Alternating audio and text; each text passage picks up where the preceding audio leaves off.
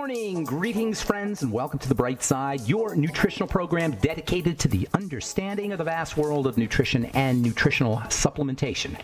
I'm your host, Pharmacist Ben, nutritional pharmacist from Boulder, Colorado. I use nutritional supplements where other healthcare practitioners use toxic pharmaceutical drugs and sometimes deadly medical procedures. If you suspect that there are natural nutritional roads to your health and vitality and well being, and to addressing your health challenges, whatever they may be, but you don't know where to begin, you have come to the right place. As you listen to the bright side every day, you are more and more in control of your body, you are more and more knowledgeable, and you know you can overcome any health challenge. That is why we are here every day on the bright side, helping clear up a sometimes confusing world of nutrition and nutritional supplementation.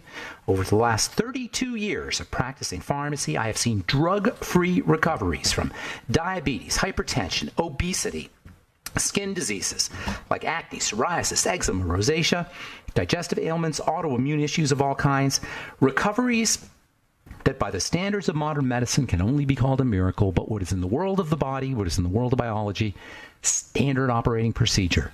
Because the human biological system is a healing system, it's a regenerating system. It is designed divinely to heal and renew itself on a moment to moment basis. And while some folks may call that a miracle, it really is just the way the body works. If you have questions about health, nutrition, prescription drugs, if you want to wean yourself off your meds and get on a good nutritional supplement program, if you have a health challenge that you or a loved one may be dealing with and you'd like help with it, if you have questions about ingredients or formulations or a comment or success story, we are here for you. We welcome your calls at 844 236 6010. We love hearing from you. 844 236 6010 is our number. If you want to purchase any of the longevity products that you hear advertised or recommended, go to brightsideben.com, pharmacistben.com, or criticalhealthnews.com, or call the Brightside Ben phone team at 866 735 2470, 866 735 2470.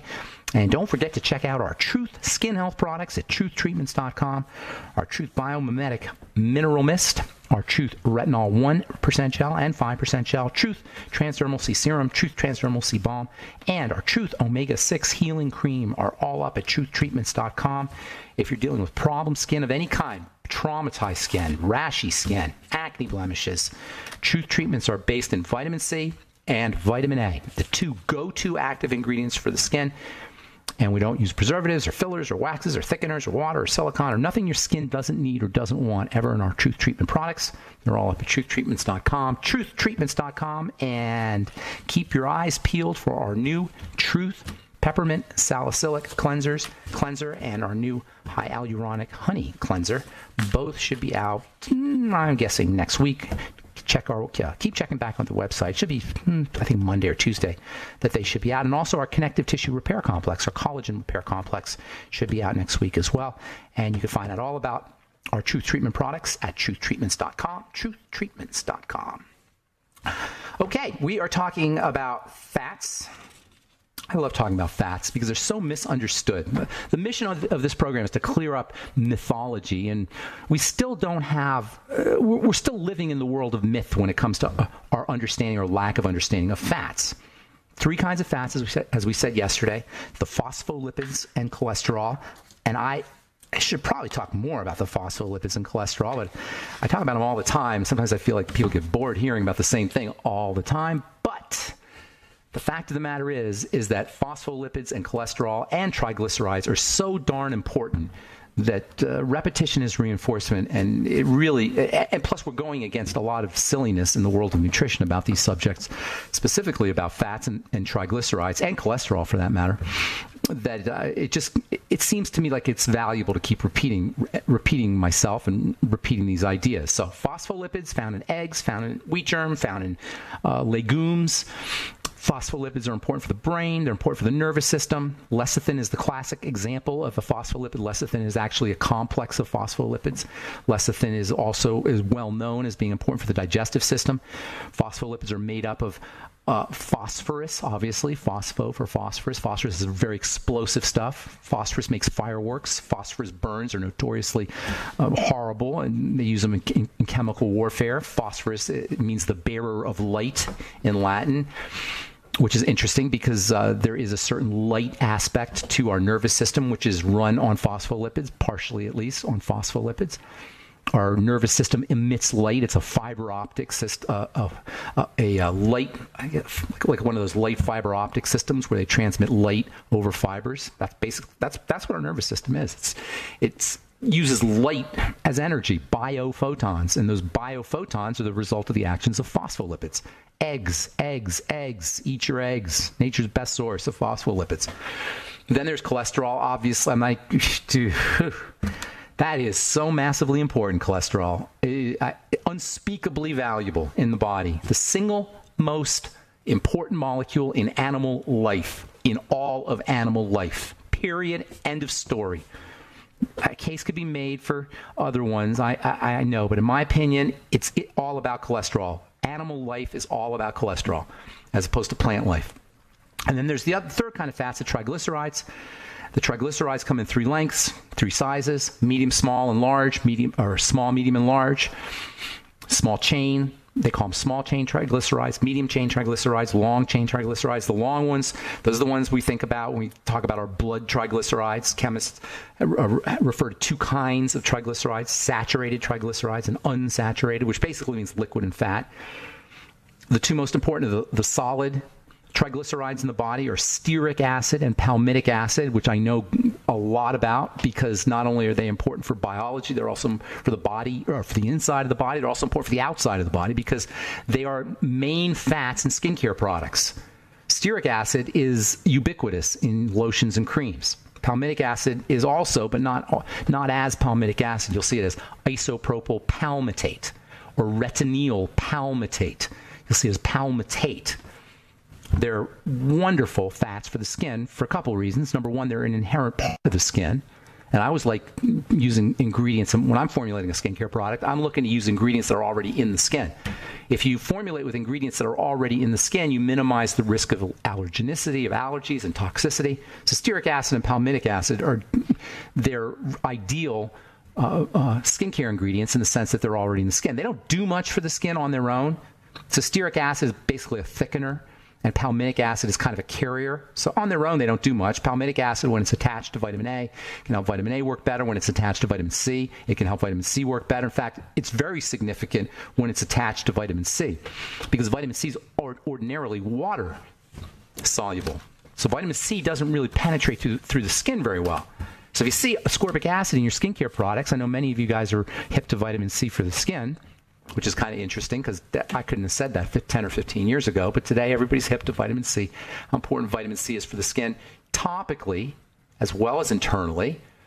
Unfortunately, many of you are also using ascorbic acid as your source of vitamin C, as your form of vitamin C for, uh, for putting in your topical skincare products, for getting into your skin. Well, guess what? It isn't doing much because it's sitting on the outside of the skin because the skin is a barrier to ascorbic acid. It's a wall to ascorbic acid. So if you're using a vitamin C product and it has ascorbic acid in it, you're not doing your skin much good. But if you take palmitic acid, the fatty acid, the saturated fatty acid, triglyceride, or fatty acid, we'll say. Triglycerides, by the way, carry fatty acids. They're not fatty acids necessarily. They're, they're carriers for fatty acids. They're, they're they're uh, they've got three fatty tri meaning three. They have three fatty acids, and one of them is palmitic acid. Anyway, you take palmitic acid, you stick it on your vitamin C, boom, you got yourself a transdermal carrier for vitamin C. The palmitic acid gets pulled in. The skin says, "Hey, I know who you are." Pulls in that palmitic acid. The vitamin C makes it through, sneaks in through, piggybacks through, and that's how ascorbyl palmitate works. And that's how ascorbyl tetraisopalmitate works. And those are the two best kinds of vitamin C. That's what you want to look for. Oh, where do you find them? TruthTreatments.com. All our vitamin C, that's what I use. That's my form of vitamin C. So, palmitic acid, uh, stearic acid, these are saturated fats. They're solid. They're less oily than the uh, unsaturated fats, which we refer to as oils most dietary fats, when we think of dietary fats, we think of oils. Most of the dietary fats that we get uh, in our uh, in the standard American diet, the SAD, are oils, but not good oils, yucky oils, and that's a big problem. We'll talk about that when we come back from our break. I'm Pharmacist Ben. You're listening to The Bright Side. We'll return after this.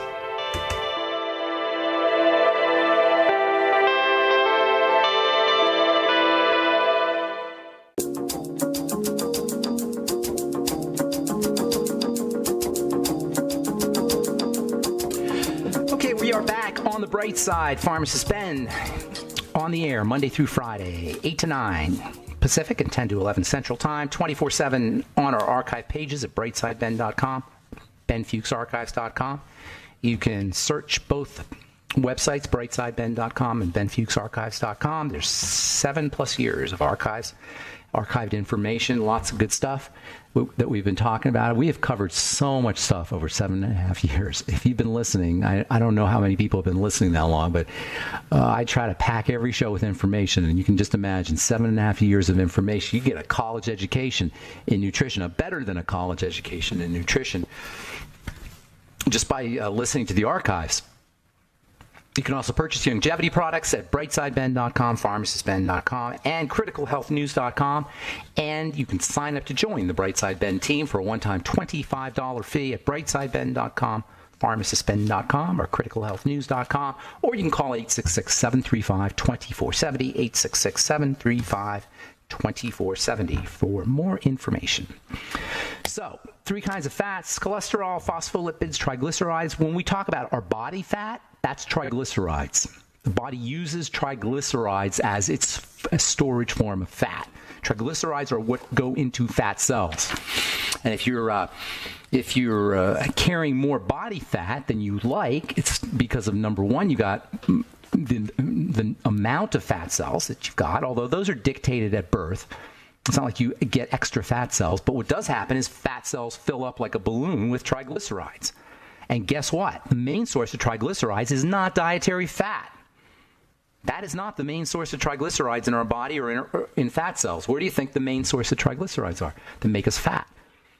Sugar. Yes, sugar. That's why this low fat craziness, the, the, which thankfully is fading, but for decades, this idea that you get fat by eating fat it just was bad biochemistry. Now, certainly eating the wrong kinds of fat is not a good idea, and eating a lot of fat is not a good idea. But for the most part, the reason we get so fat, we are the starving obese in this country, is not the fat, it's the carbs, which get turned into fat, which get turned into triglycerides. Triglycerides are storage forms of carbs, it's how carbs get stored. That's so important to understand. It's the triglycerides that make us fat. The triglycerides are storage, are ways that the body deals with all the freaking carbs that we're getting it sticks them in fat. Now, there are two fats, two triglycerides, two unsaturated liquid triglycerides, which are unbelievably important. They're like vitamins. That's such an amazing concept. Yeah, we talk about fats all the time. Triglycerides, we specifically, we talk about these all the time in terms of our body weight, in terms of food, in terms of our blood work. We talk about these all the time. We, we're told to stay away from oils. We're told uh, we're told to uh, avoid processed oils. We talk about fats all the time, but what we sometimes don't make a connection with is the fact that there are two fats, two triglycerides, two oils, if you will, that are so, so important. They are actually like vitamins. They are essential like vitamins. Of course, I'm talking about essential fatty acids, EFAs.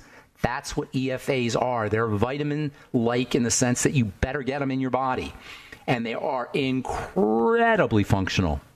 Unbelievably functional. The best place to get your EFAs is going to be from food, but it's hard to get the amount that you need. That's why you supplement. Supplementation is not a great thing, it's a necessary thing. Supplementation is not the way the body's supposed to get nutrients, but it's necessary in our day and age which is why people get dramatic benefits from EFAs. I have seen the most amazing things happen, especially to the skin, when you uh, when people take EFAs. And you can see this for yourself when you start to give your pet eggs. Give your dog start to give your dog eggs, which are one of nature's best sources of omega-3 fats and omega-6 fats for that matter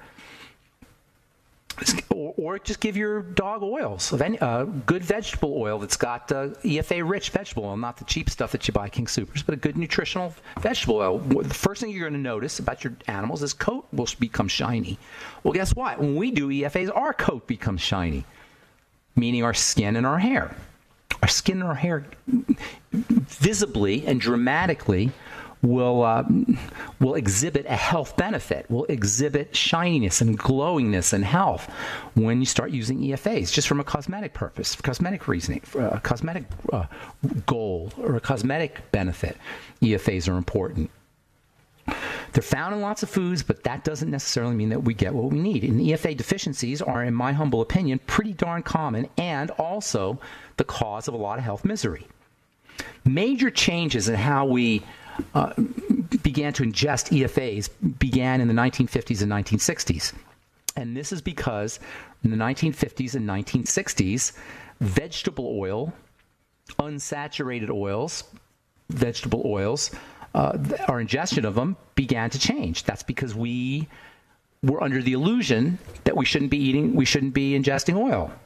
The lipid hypothesis was kicking in. The lipid hypothesis, also known as the diet heart hypothesis started in the 1950s, late 1940s, early 1950s. It's when it started showing up in the research, this idea that maybe it was the fats that we're eating that were causing heart disease. They started to notice when people came home from World War II and from the Korean War, when young people came home from the war, when they did autopsies on the on the bodies, when I, I mean, when their bodies came home from the war, they did autopsies, and uh, they noticed that uh, there was a lot of fat in their coronary arteries so they said, hmm, what's going on here? What's all this fat doing in a 20 year old kid in the coronary arteries? And they start to associate heart disease with this problem of, of accumulation of fat in the arteries. A guy named Ancel Keys, who is a uh, professor at the University of Minnesota, he, and by the way, uh, received lots of funding from the grain people the cereal people who were who were in Minnesota, Keebler and General Mills and all these grain companies and and cereal companies, uh, and they started to get this idea that hmm if there's fat arteries, maybe that means we're eating too much fat. So let's stop eating the fat. And this whole idea, of this lipid hypothesis, and eating less fat, and of course, be replacing with grains, replacing the calories with grains, started to kick in. The notion was that ingestion of saturated fat was behind the epidemic of heart disease. Heart disease really, heart disease. If you backtrack the history of heart disease, it really got going in the 1920s and 1930s. It was epidemic by the 1940s, and by the 1960s, people were totally freaking out.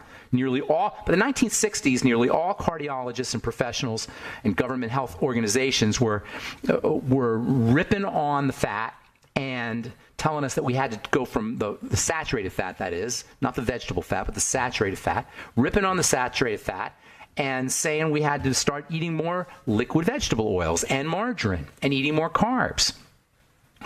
So we had this low fat, this whole craziness, this low fat craziness began in the 1940s, really got going in the 1960s and 1970s, and, and even into the 1980s. But 1990s, it started to fade. So it was about 50 years of this lipid, lipid hypothesis, this idea that we had to reduce our saturated fat intake and start eating more vegetable oils, liquid vegetable oils, and more margarine and replacing our butter with margarine. And to this day, to this day, the American Heart Association recommends the use of margarine instead of butter and not just any margarine, but the highly processed, ultra disgusting soft margarine, fake margarine. It's not even it's not even margarine, it's fake margarine. If you could have something like that. Fake a fake, fake food. Right, I'm Pharmacist Ben, 844-236-6010 is our number. You're listening to the bright side. We'll be back after this.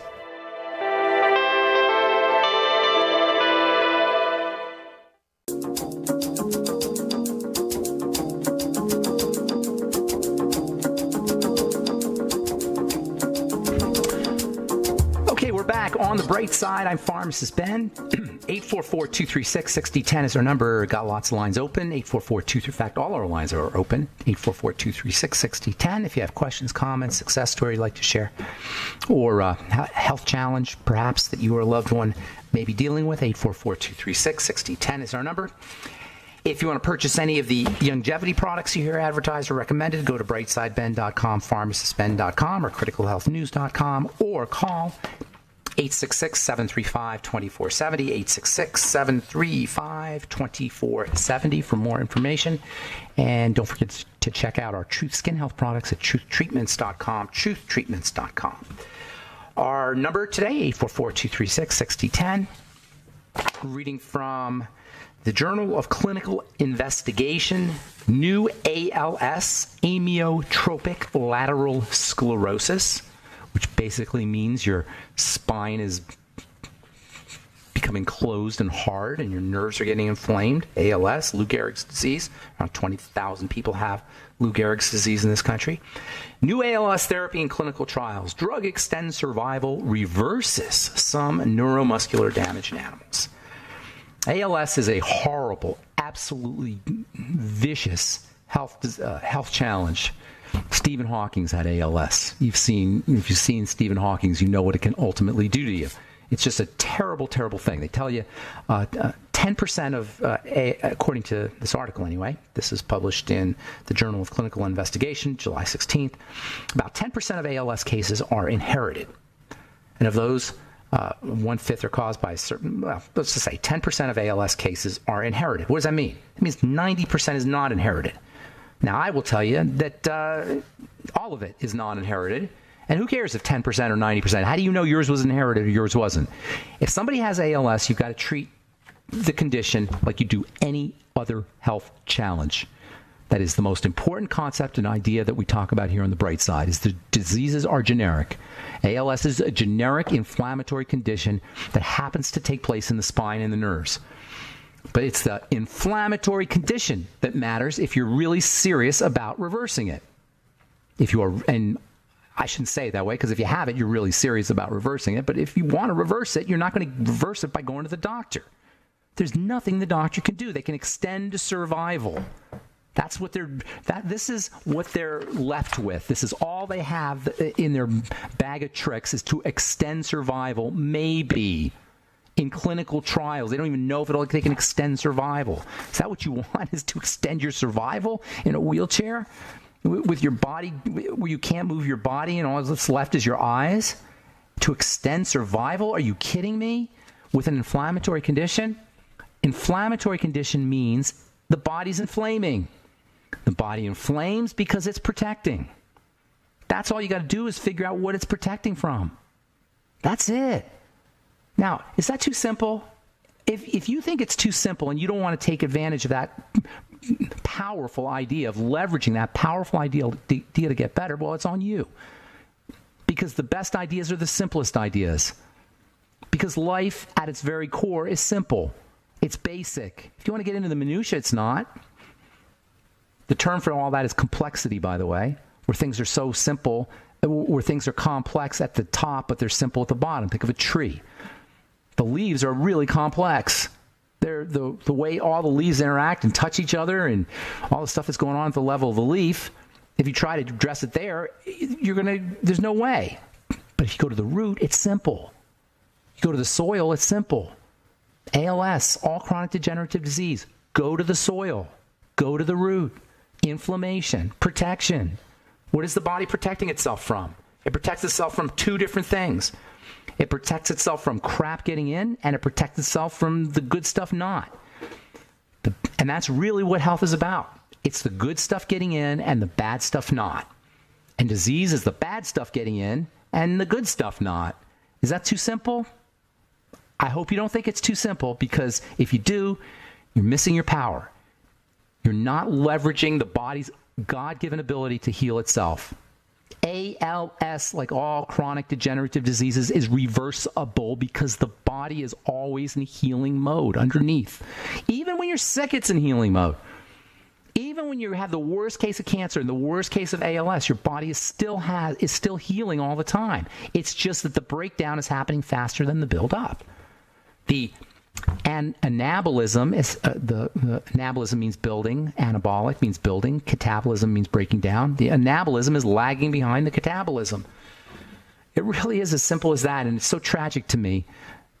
You know, it's like in the Bible, my people perish for lack of knowledge. It's so tragic to me that we have all of this power just like uh, when they train elephants, they train elephants by when they're baby elephants, they put them in a, with a time uh, their leg up to a little rope and then become big elephants. They don't know they can just pull the rope out with, uh, with just a, a, a tiny little bit of energy. They can pull that rope out. They don't know it because they've been trained to believe they don't have power.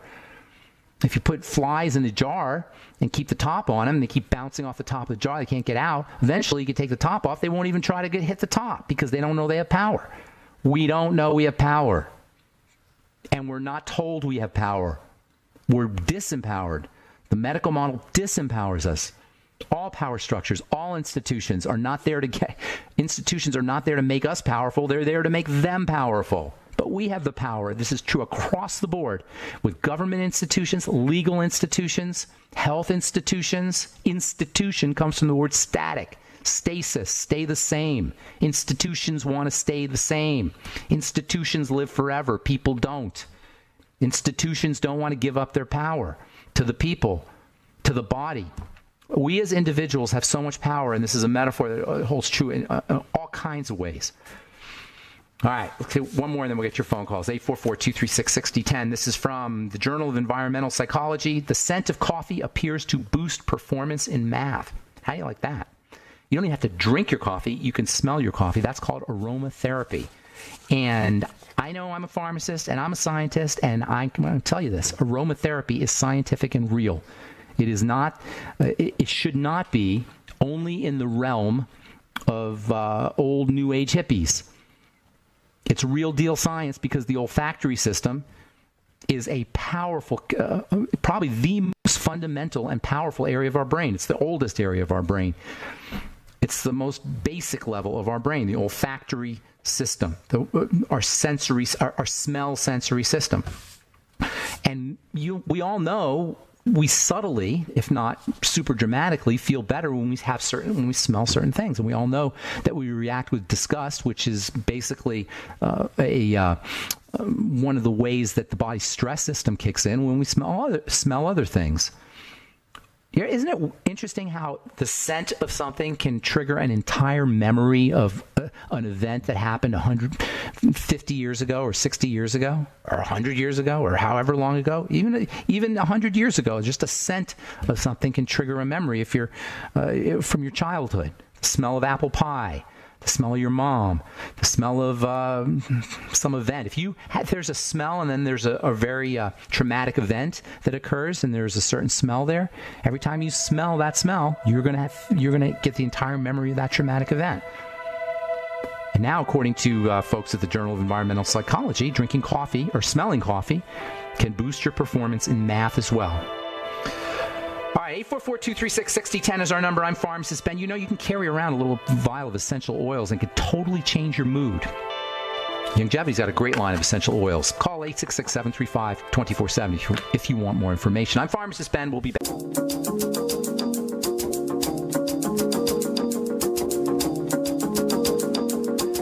Good morning. Hope you all having a great day. Great morning. 844-236-6010 is our number. I'm Pharmacist Ben, and we have one phone call, Diane in Nebraska, and a lot of empty lines. So let's uh, see what Diane has to say. What's going on, Diane? Is this my friend Diane, who's always always giving me a hard time on Facebook? is that you? I don't do I don't do that anymore. oh, you don't? Okay, all right. Don't We're friends now. Yeah, yeah. That's awesome. Um, okay, good. Sure. Um, I picked up a pamphlet at uh, Natural Grocer the other day, and yeah. it told me, and it said in there that DE uh, could be a good supplementation for, which is diatomaceous earth, could be a good supplementation for um, uh, silica. Uh, diatomaceous, diatomaceous earth is a great supplement for a lot of things. Diatomaceous uh-huh. earth is one of nature's best best unknown supplements. Do you, do you, know what it is, diatomaceous earth? Have you heard of it? I mean, yeah. uh, have yeah. you looked uh-huh. into it? it? Yeah, I've used it. Okay. It's, it's amazing stuff. And as far as silica goes, that's amazing stuff too. Uh, diatomaceous earth does have some silica in it. It's a great source of uh, just general minerals. Um, and silica in particular, though, is so valuable. I personally would take silica by itself. Diatomaceous earth is about I don't know, 80 or 90% silica, but I don't know if all of it is orthosilicic acid, which is the type of silica that you need to be absorbed. Do you know what I'm saying? I see. So diatomaceous, I don't know how much of the silica is actually bioavailable in diatomaceous earth.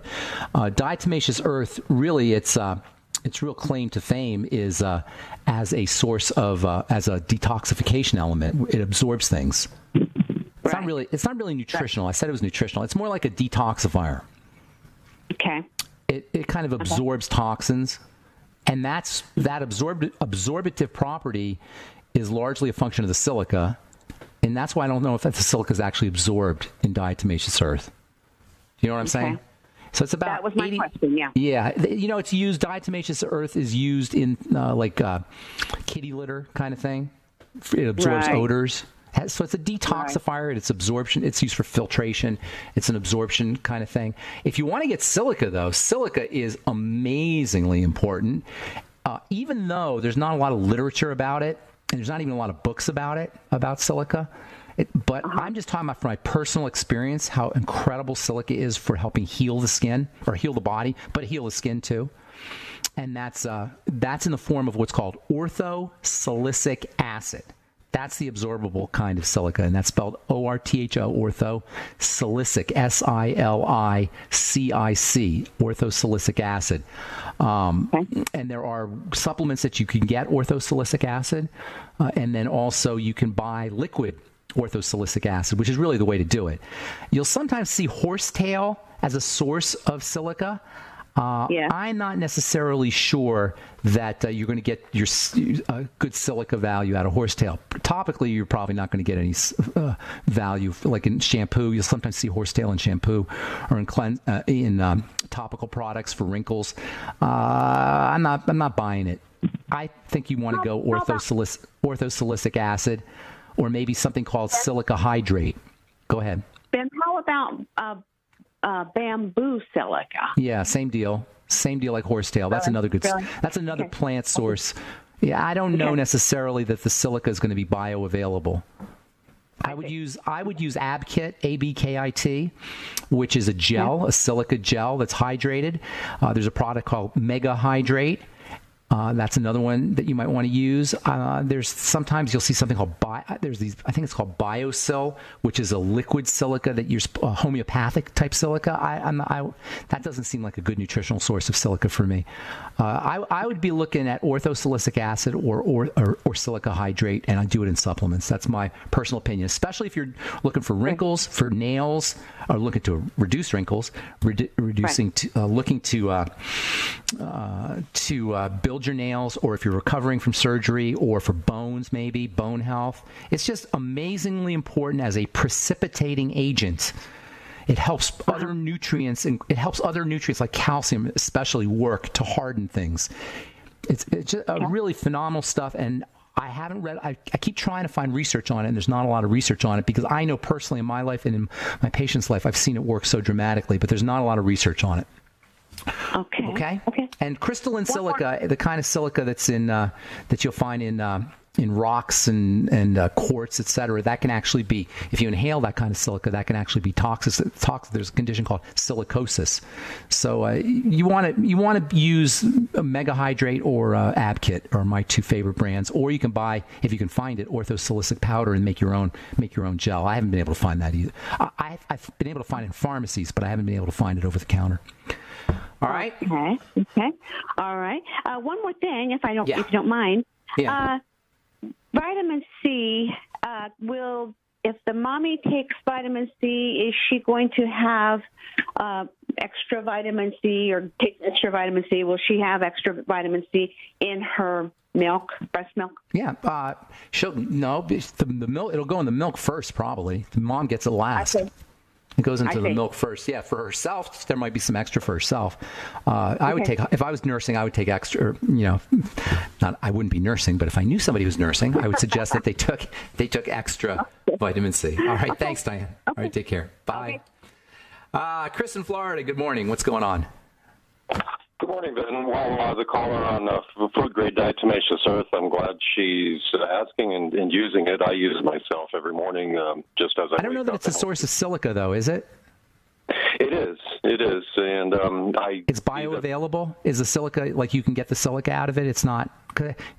It's not like absorbable in the form it's in, is it? It's not orthosilicic acid, I don't believe. Or maybe I'm, I, I might be wrong. Uh, I can't. Well, I can't say I've had a nutritional blood test to determine, but okay. uh, see that my nails uh, don't have any white spots anymore. So, did you notice uh, changes in your body when you started taking it? Oh well, I just feel more alive and awake. Um, but I just wanted to make sure I give the one warning that uh, it also kills gut flora, so you want to supplement separately with probiotics and prebiotics because does it kill them or does it uh, does it adsorb them, like magnetically attract them, or is it toxic to them? I don't know exactly the mechanism. Uh, okay. Maybe it's mechanically. I know what you mean by adsorb or the, the van der Waals forces, V A N D E R W A A L S. Well, Chris, Chris, go, let's go do some chemistry here. Are you a chemist? Yeah. Uh, no, no, I just a little tinkerer, I guess you could say. You know. Okay, yeah. Van der Waals forces are just for the listeners, just magnetic forces is enough to understand. Uh, adsorption AD is like what happens to a spun uh, to the when, when something just gets stuck on to the top of a molecule as opposed to absorption where it goes all the way into the molecule. So at clays have an adsorption effect. And I think what you're talking about with the probiotic, with the bacteria, it's an adsorption effect, which makes sense. And that's why I don't know if the silica is bioavailable because it's more like a like a detoxifying kind of thing than it is a nutritionally available thing. The body can't really break it down and absorb it. You need to have that silica in a liquid, uh, in a, a, a easily di- dissolvable form, and it's not easily dissolvable. I don't believe. I might be wrong on that in diatomaceous earth. That's why it acts like a filter.